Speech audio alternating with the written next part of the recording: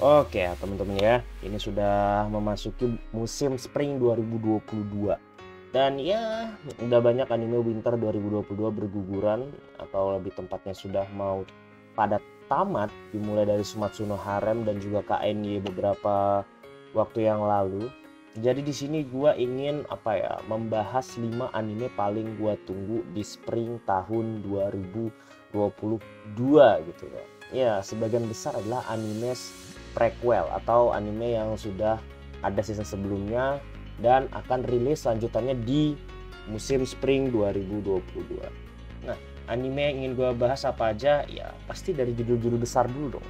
Yang pertama adalah Tate no Yusa. Ya, ini anime sebenarnya harusnya rilis di musim Oktober 2021, tapi diundur selama setengah tahun dan sekarang akhirnya kita baru menikmati. Jadinya totalnya dari season 1 ke season 2 gua nunggu 3 tahun ya karena season 1 itu tahun 2019 dan season 2 nya itu tahun 2022 iya gue nunggu 3 tahun cok.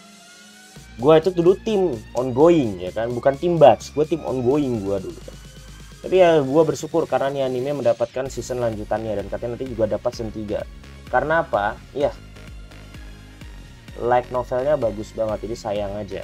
By the way studionya ternyata nggak terlalu nggak terlalu populer ya. Mungkin nggak dari kalian yang mengenal studio Kinimese terus padahal anime mereka itu menurut gua keren-keren seperti Made in Abyss lalu lagi ya ya kayaknya Made in Abyss juga kinema apa aja selain Made in Abyss ya. Wah lupa gua tapi ada banyak. Cuma gua lupa yang gua yang gua poinkan banget ya itu Made in Abyss ya kan. Jadi bagi yang nggak tahu anime itu bercerita tentang seorang tukang boil ya kan. Yang akhirnya itu dia keisekai hanya gara-gara baca majalah K-pop gitu kan. Dari perpustakaan perpustakaan mana coba ada majalah K-popnya gitu lalu tiba-tiba dia dipanggil ke dunia entah berantah gitu kan. Eh jadi pahlawan prisoi gitu kan. Lalu dia tuh kena kibul sama cewek ya kan. Cewek oh, hobi gitu ya kan. Dan akhirnya dia jadi muara pengen namanya revenge gitu kan. Revenge-nya nggak kayak Kearu tapi. Oke. Okay. lalu yang kedua lah Kaguya sama Wapokura Setai. Menurut gua ini adalah anime dengan rating tertinggi di bagian romance comedy lo asal tahu sendiri ya Kaguya sama untuk beberapa dekade eh dekade lagi beberapa catur bulan ini adalah sebagai manga dengan penjualan yang cukup tinggi bersaing dengan Tokyo Revengers, X Family, Kyaju Age dan Jembutsu Kaisen gitu kan. Jadi untuk sebuah anime yang mengusung tema romance komedi school gitu kan emang kita nggak bisa berharap dengan rating-rating tinggi tapi penikmatnya emang luar biasa banyak tapi Kaguya sama out of the box dan ini menjadi anime romance comedy school dengan rating tertinggi. Tapi bang, Fruit Basket rating tinggi itu drama romance. Beda ya. Sojo lagi. Ini juga genrenya apa pula? Seinen, psikologikal. Serius psikologikal. Oke. Okay. Jadi anime itu menceritakan tentang seorang dua orang ya kan, gengsinya tinggi ya kan, nggak mau ngungkapin cintanya gitu kan, adu pedang juga kagak, pokoknya mereka tuh berantem dalam otak mereka. Dan itu cukup seru mengingat orang-orang di sekitar mereka itu ada yang sad boy, ada yang jomblo, ada yang juga demen kebok pria gitu dan lain-lain itu kan, ada juga yang euphoria. Oke, lalu lanjut aja berikutnya. Nah, Spy X Family gue anggap ini sebagai season terbaru dari Ore Gairu. Kenapa gue bilang demikian? Karena seiyunya dari dua MC atau dua tokoh utamanya main karakter itu dipegang oleh Egu Chitakue dan Saori Hayami yang sebelumnya itu sebagai seiyu dari siapa namanya? Uh, Yukinon. Nah, itu Yukinon sama sebelahnya lagi um, Hachiman ya ya. Dari Yukinon dan juga Hachiman jadi ya gue anggap ini sebagai bagi mereka yang kangen dengan Oregairu bisa lah ya nonton ini anime. Dan lagi ini anime juga yang cukup populer juga manganya di Jepang sana. Jadi gue harap ceritanya sih bakal bagus. Karena gue pribadi baru baca manganya baru gak sampai 10 chapter. Itu karena juga gue baca dulu banget. Itu waktu awal rilis manganya baru 9 seingat gue tapi karena udah berlarut-larut dan terlalu lama nggak gue baca lagi dan sekarang animenya bakal tayang jadi mending gue nunggu animenya aja tayang daripada gue malah baca manganya lagi dari awal. Tapi gue menjamin ini anime bagus karena dihandle oleh dua studio besar Cloverworks yang sukses banget dengan Sonobi Square dan Akebi Sailor Moon Uniform dan juga Witch Studio yang sukses dengan Osama rankingnya di musim ini alias winter 2022 jadi untuk masalah studio ini malah dihandle oleh dua studio raksasa bos semoga nggak berakhir seperti anime Tag of Destiny yang mengusung dua studio raksasa Mapa Meadows yang berakhir dengan ngakak. Gitu ya kan? Oke yang ketiga udah pasti Dead Alive. Lagi-lagi ini anime ganti studio.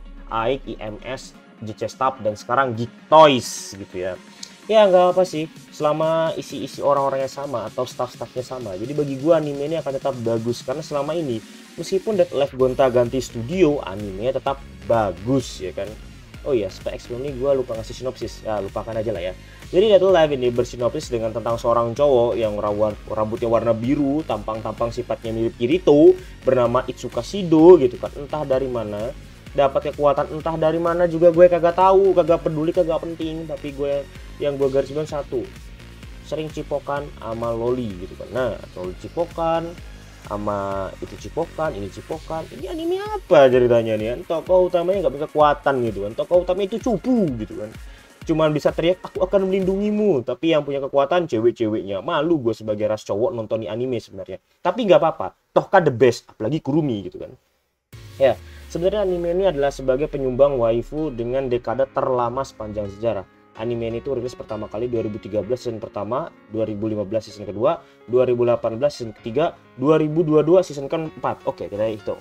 Season pertama, season kedua nunggu 2 tahun. Season kedua ke season ketiga nunggu 3 tahun.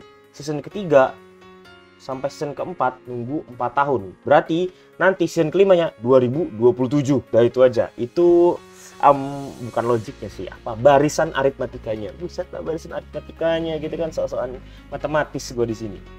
Tapi yang gue tunggu dari ini anime bukanlah kualitas story yang bagus ataupun nanti juga visualnya mengagumkan karena emang visualnya sih mengagumkan banget. Tapi gue kangen sama waifu waifunya karena emang ini anime disebut juga sebagai tempat lahan waifu waifu lo selama ini. Daripada lu waifunya rem sama zero tuh mulu ya kan?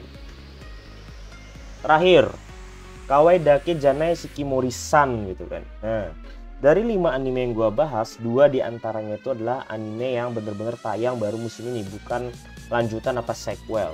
Dan kenapa dari seba sebagian besar judul yang gue lihat, gue memilih Kawaii Dake Janai Shikimori-san.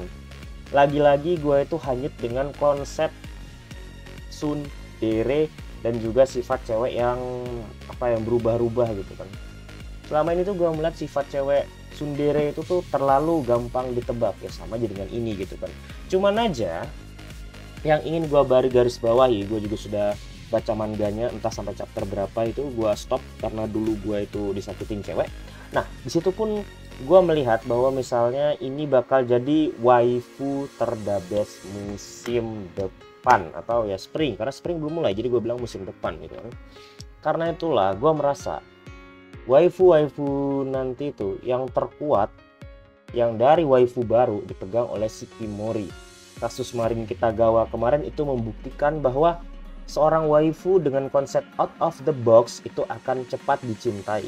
Dan Shikimori datang sebagai cewek yang tidak manis tapi bikin lu kesemsem sepanjang hari. Oke lah ya.